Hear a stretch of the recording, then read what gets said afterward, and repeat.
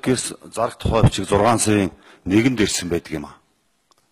Гэтэл Оросын засгийн газрын шийдвэр Ростехийн удирдах зүйл болохоор хяналтынхаа орооны шийдвэрийг 6 сарын 2-нд гаргасан байдаг. Оросын засгийн газраас зарах нот бичиг ирээгүй байдаг шүү дээ. Тийм баримт байхгүй юм өнөөдөр хүртэл. За тэгэхээр хоёр улсын засгийн газар хоорондын гэрээгээр хувьцаага худалдах нөхцөлд засгийн газар нь нот бичгээр мэдэгдэнэ гэсэн тийм залт. Тийм нот бичиг ирээгүй. Зөвхөн Ростехтэй хандсан бичгэл Медведев гаргасан байдаг шүү дээ. Тэгэхээр одоо энэ дээр ерөнхий сайдаас сайхан байлгыг хариулт өгнө. За хоёрдугаар микрофоныг өнгөлөө. За Сүхбат гүшүүний асуултанд хариулъя. Тэмээ гэхээр ямаа гэж байгаа зүйл бол байхгүй. Зүгээр зөв ойлгох тухай л асуудал байгаа.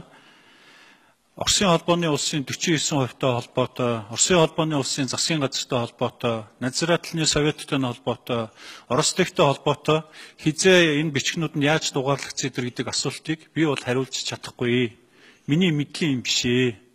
Тийм учраас би таны асуултанд хариулах боломж байхгүй байна.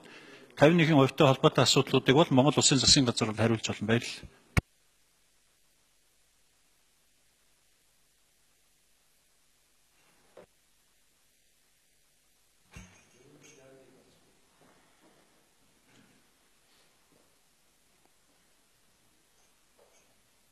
За сүхбат гүшүүний микрофоныг.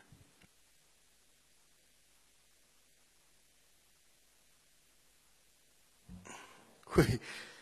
Ямар өчтэй юм бэ ч дээ. Тодруулах Тодруулъя гэсэн. аа харин тий.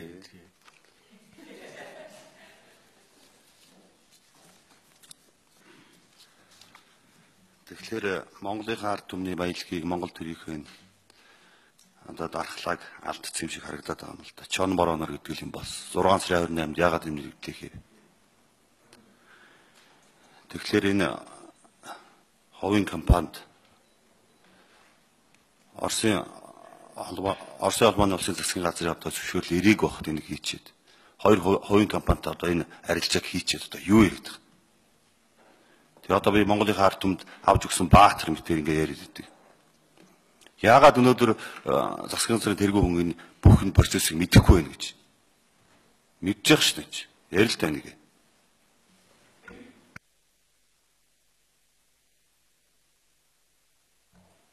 За бүрдэр шүү.